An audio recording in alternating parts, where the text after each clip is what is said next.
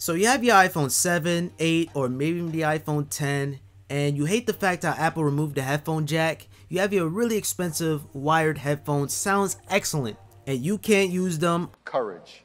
The courage to move on, do something new. I know it sucks, and I am aware that Apple includes the Lightning to 3.5 adapter inside the iPhone 7 and up, but hey, you can't charge your iPhone, and you gotta make up your decision if you should charge your iPhone or listen to music.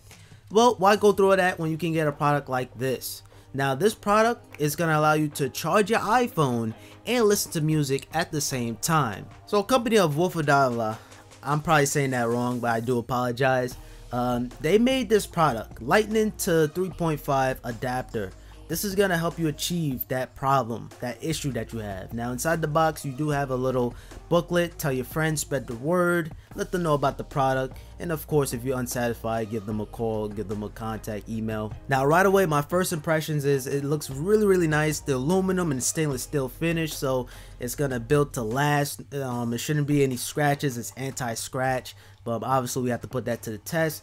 And yeah, way better than the Apple one plastic and just bad material that just doesn't last long at all. Now plugging in my lightning cable to the adapter, as you guys can see, as expected, it works. Now with my lightning cable plugged into the adapter, charging my iPhone 7, let's test out the headphone jack.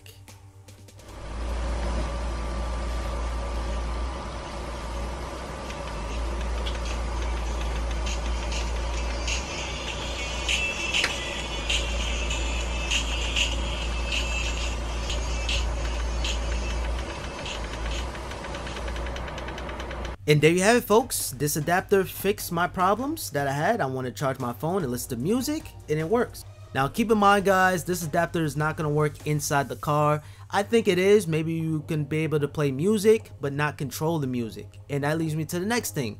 Your headphones, you can't be able to control your music, you have to open up your device and control your music that way. And you're not going to be able to sync, so if you want to add some music, you can't do that with this adapter. And no calling. Now those drawbacks may be a deal breaker for some people, but then again, it may be a deal for you. That concludes my review of the Wolf of Wolfadala Lightning to 3.5 adapter. Hopefully you guys enjoyed, drop a like if you guys did, subscribe if you're new, click on the notification bell, and comment down below what you guys think. Alright guys, until next time, peace.